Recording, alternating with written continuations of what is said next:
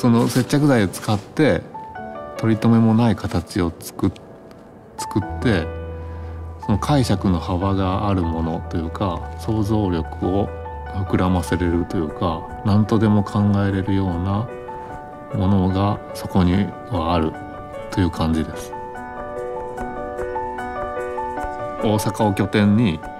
美術作品を作ってる大西康明です。自分一人で作業するには扱えないものを使ったっていうのが、まあ、挑戦っていう部分だと思います。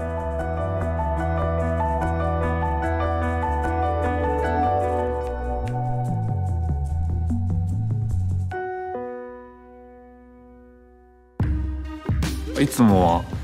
段ボール箱を重ねて形を作ってるんだけど今回は車っていうなんかすごい重たいものを最初に釣り糸を天井に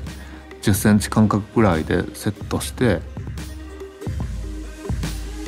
ー、っとその後にポリシートを広げて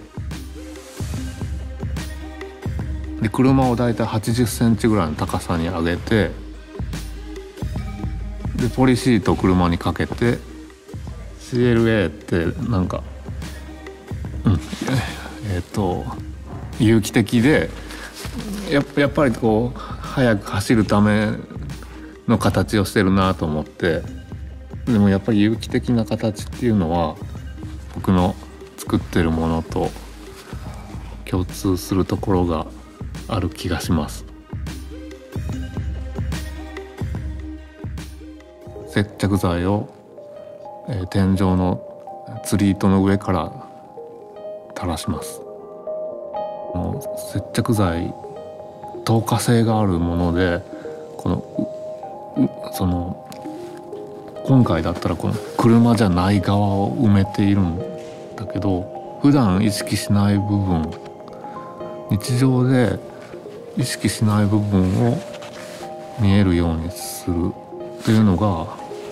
やりたかったことなんです。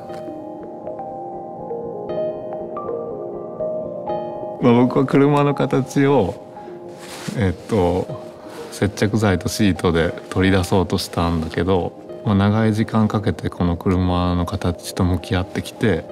単純に美しい形をしてるなと思うし長い歴史の中で車作ってきたプライドみたいなのをなんか感じることができた気がします。